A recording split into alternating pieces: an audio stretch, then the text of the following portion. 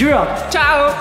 Lepo pozdravljeni. Eh, 21. septembra vas z Indirovava v Arboretum Volči potok, kjer bomo Trenirali! Predstavljali vam bomo Reset Workout vadbo, s katero dosežeš popolno postavo. Tako da 21. septembra ne pozabite, pridite v Arboretum, kjer bo Migi Migi dan, da se bomo podružili in Miga skupaj. Lepo bote. Čau!